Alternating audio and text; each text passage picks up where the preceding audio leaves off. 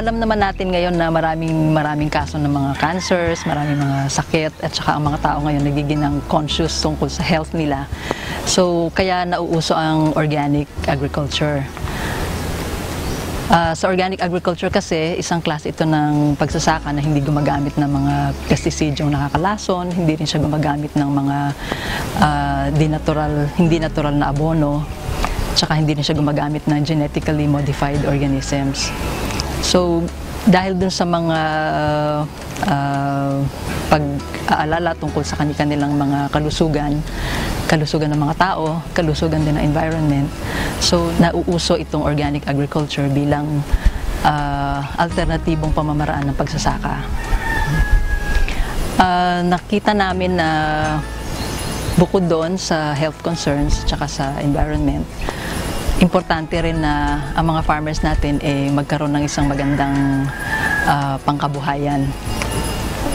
Sa organic agriculture, hindi sila kailangan bumili ng mga mamahalin ng mga fertilizers, abono, tsaka mga pesticides. Pwede nilang gawin yon sa sarili nilang farm.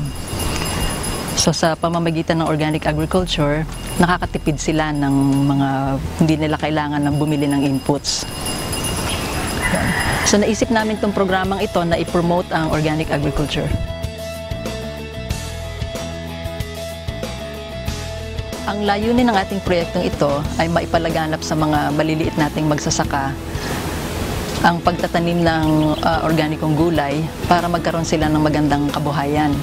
Unang-una, gusto natin na maisiguro ang kanilang pagkain ng masustansyang gulay at walang ah, laso na nanggagaling sa mga pestisidyo at saka di natural na abono kung ano man ang magiging ah, sobra dun sa kanilang kailangan na pagkain, ay maibebenta rin nila ito sa magandang presyo. Nagsimula ang project na ito ah, with the UP Los Baños sa Agricultural Systems Cluster. Nakipag-tie up kami sa NEDA na siyang nagbigay ng pondo para isagawa ang first phase ng project noong 2007 hanggang 2010. Sa project na ito, nakipag-coordinate tayo sa tatlong bayan ng Calabarzon. Meron tayong project sa Rizal, sa Quezon at saka sa Batangas. Nung phase 2 ng project, nakipag nakahingi naman tayo ng pondo sa Department of Agriculture, Bureau of Agricultural Research at naituloy natin ang project sa Quezon, sa Tayabas at saka sa Pagbilao. Naging maganda naman ang pagtanggap ng mga lokal na pamahalaan sa bayan ng Tayabas at saka sa Pagbilao, Quezon para matulungan nga namin ang mga maliliit nilang magsasaka na makapagtanim ng organikong gulay. Sa mga bayan na ito ay nag-organize kami ng farmers associations. Sa bayan ng Tayabas, yung Sama Pukata na ang ibig sabihin ay samahan ng mga magsasaka sa parang organiko para sa kaunlaran ng Tayabas. Sa bayan naman ng Pagbilao, ay inorganize namin yung OFAP o Organic Farmers Association of Pagbilao. Silang dalawa ay sa ngayon ay registered na sa Securities and Exchange Commission. Meron kami sa kasalukuyan na 31 active members. Ah, ito po ay nagmula sa 22 bayan na nasasakupan ng nasabing syudad. Ang aming pong ah, samahan ay nabuo po ito noong ah, late 2007 Kami po ay nagumpisa noong September 15, 2011. Kami po ay bumubuo po ng 15 miyembro, 10 lalaki, at higit sa lahat 5 babae po. Bago kami mag-introduce ng kahit anong intervention sa mga lugar, pinag-aaralan muna namin ano ba yung mga existing na mga problema nila at yun ang binibigyan natin ng solusyon. Sa bayan ng Tayabas at saka sa Pagbilao, sobrang malakas ang ulan nila. Palaging umuulan dun sa lugar na yon at nakakasira yun sa mga gulay. Natutunaw yung mga gulay nila. Kalimitan din, nasusundan naman ng tag-ulan ang ilang araw na tag-init. So masama din yun sa gulay. So naisipan namin ay bigyan sila ng technology na tinatawag na protected culture. Ito yung merong mga net houses or greenhouses na para protection sa ulan, protection din sa sobrang sikat ng araw. Tinutulungan din namin sila na magkaroon ng konting mga bomba ng tubig para meron silang ah, pangdilig sa kanilang mga gulay.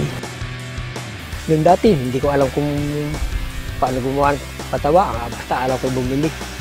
Ay nung mag-uwi sa project, ang proyekto nila, tinuruan kami ng kung paano gumawa ng sariling patawa, kung paano mag-apply. Tinuruan namin sila na maggawa ng vermicompost na kung saan ay ah, ginagamit ang mga bulate o yung African night crawlers para gumawa ng magandang klase ng pataba. Sa inputs, ay di binibigyan kami ng mga materials na katulad nitong net. Nitong net, yung drum na ginagamit namin sa gawa ng bermiti, o kaya composti, yung mga pump tools, katulad sa roll, patik, pala, sprayer, Natuto po kaming gumawa ng mga pataba na mula po sa dumi ng hayop na kung saan dito po ay naging problema po ng aming barangay. So meron namang technology para gawin siyang organic fertilizers, yung tinatawag na bokashi, na kung saan ay ah, sinasamahan siya ng ah, darak, ah, konting molasses at saka mga dahon ng kakawati para maging siyang organic fertilizers. May mga tinuturo din kami sa kanilang technology para naman maproteksyonan ang kanilang mga gulay para sa mga sakit. Una, magandang ah, gawain yung nilalagyan ng culture net para may hindi sila basta na papasok ng mga insekto. Tinuturo din namin sa kanila yung intercropping. Dito, sama-sama ang iba't ibang klase ng gulay sa isang plot para sa ganon ang mga insekto ay malilito. Hindi sila ah, maaapektuhan ng masyadong masamang epekto ng, ng insekto. Isa pang paraan para makatulong sa makaiwas sa mga peste ay yung pagtatanim din ng mga halaman na ah, yung iba nakaka-attract ng ibang mga kaibigan na insekto, kamukha ng mga marigold. Ah, meron din naman ng mga halaman na nakakataboy ng ibang mga peste, kamukha naman ng mga lemongrass, yung tanglad. Magandang isama yon sa ating mga taniman. Kasi yung mat- matapang na amoy nila ay nakakataboy ng ibang mga peste. Napaka-importante rin na protection ng halaman ay maganda yung lupa na tinatamnan ng mga halaman kasi kung maganda ang lupa, healthy ang lupa, healthy rin yung halaman at magiging siyang resistant sa mga sakit. Sa organikong pagsasaka ay meron din tayong tinatawag na crop rotation. Dito naman, um, pagkatapos ng isang tanim, halimbawa mustasa, susundan natin siya ng ibang crop naman. Halimbawa, ah, sitaw o yung mga balatong or munggo. Kasi ang itong mga halaman na ito tinatawag na nitrogen fixing. Makakatulong sila sa pagdadagdag ng nitrogen sa lupa. Hindi natin ginagawa na ah, sunod-sunod na tanim ay pare-parehong crop. Kasi yun ay mag-iimbitan ng mga sakit at saka mga peste dun sa, sa tanim na yon. Tinuturo din natin sa ating mga farmers yung tinatawag na mulching or paglalagay ng kilib. Dito pwede natin gamitin yung mga pinutol na mga damo o di kaya yung mga rice straw na pangtakip sa lupa para sa ganon may protection ang lupa. Unang-una, pagka masyadong malakas ang araw, hindi masyadong natutuyo kaagad yung lupa. Kung tag-ulan naman, napoproteksyonan ang lupa na hindi siya matamaan ng malalaking patak ng ulan na makakasira sa structure ng lupa. Ang kagandahan din ng mulch, lal- lalo na sa mga dayami, mabubulok din ito sa katagalan at magdadagdag din siya ng organic matter sa ating lupa. Ang isa pang advantage niya, ah, tinitirahan din siya ng mga kaibigang insekto. Sa organic farming, um, meron ding madaling gamitin na pangpaganda ng mga halaman, yung tinatawag na mga fermented plant juices at saka mga fermented uh, plant extracts. Madali lang gawin ito, pwedeng uh, yung mga pangkaraniwang dahon ng kakawati, sinasamahan ng molasses o brown sugar, tapos uh, ginagawa siyang parang atsara or fermented ng mga isang buwan. Tapos yung makukuhang katas doon, pwedeng gamitin na pang spray ng mga halaman. Ayon sa karanasan ng ating mga farmers, sabi nila na magandang pagpampabunga ng mga halaman, no, kamukha sa mga talong o sa mga kamatis.